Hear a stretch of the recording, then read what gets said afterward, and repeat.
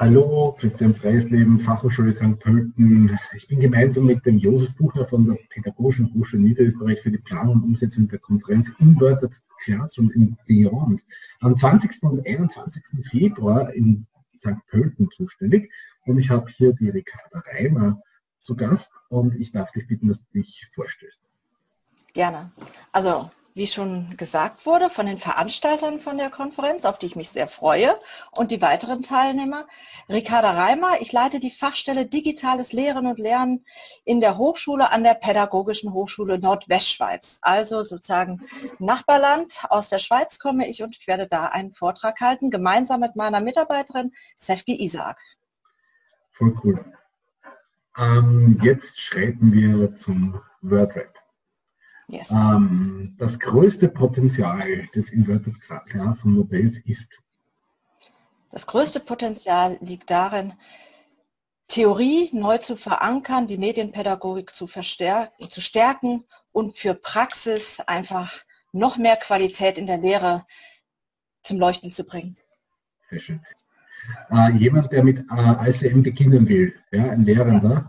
den mhm. empfiehlt man, dem empfiehlt man auf jeden Fall, Konzeptionsarbeit zu machen. Das spart nachher für die Praxis viel Zeit, sich Gedanken zu machen, wie eigentlich immer, was ist mein Ziel, was steht, was ist der Lerngegenstand, was möchte ich rüberbringen und dann einfach Mut zu haben, Lust zu haben, was Neues auszuprobieren und die Technikfeindlichkeit oder die Schwierigkeiten nicht so ernst zu nehmen, einfach mal machen, tun und mit Freude dabei zu sein und man hat ganz viele Kolleginnen und Kollegen im In- und Ausland, die einen gewiss auch gerne unterstützen dabei.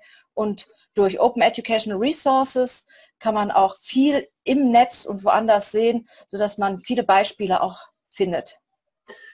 Cool. Dein persönliches ICM-Motto ist daher? Mein persönliches Motto ist daher, ich möchte gerne mit meinen Perspektiven die Theorie stärken für die Praxis. Wunderbar. Was wirst du bei der Konferenz einbringen? Wie schon fast sozusagen jetzt aus dem vorherigen Gesagten zu hören ist, werde ich äh, gemeinsam mit meiner Mitarbeiterin einen sozusagen Slot machen, wo es darum geht, dass wir uns nochmal genau anschauen, was ist Inverted Classroom? Ist es eine Kombination dessen, eine Addition? Was soll das? Und ich würde gerne über die Verknüpfung von diesen zwei verschiedenen Perspektiven, Online und Offline, darüber sprechen und wie man das nochmal mehr an den gesamtdidaktischen Diskurs anbinden kann, als auch an den medienpädagogischen Diskurs. Weil ich glaube, dass es enorm wichtig ist, dass wir uns mehr in der Scientific Community auch deutlich machen, nicht nur wir haben tolle Praxisbeispiele und wir verändern die Lehre und das sind immer so die Akteure in den Hochschulen, sondern dass wir das bewusst machen und auch aufbauen auf anderen Theorien und das möchte ich gerne einerseits rüberbringen, also dass es nicht nur eine wechselseitige Kombination von verschiedenen Methoden ist oder mal von Filmen und dann hat man eine Präsenzlehre.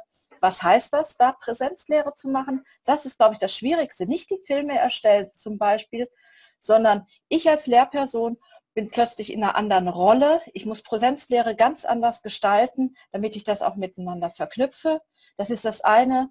Das andere habe ich gesagt, der Theoriediskurs und zwar anschließend auch an den gesamtdidaktischen Diskurs und darüber hinaus eine bewusste Gestaltung des Lehr-Lernraums. Und wir befinden uns hiermit in diesem Lehr-Lernraum, der immer zwischen dem Kulturraum Internet und dem klassischen Präsenz, Face-to-Face -face ist.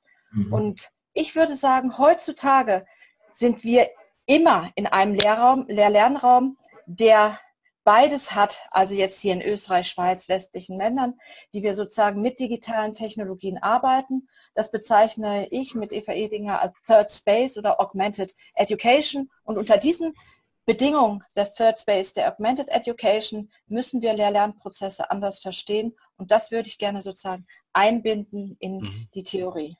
Mhm.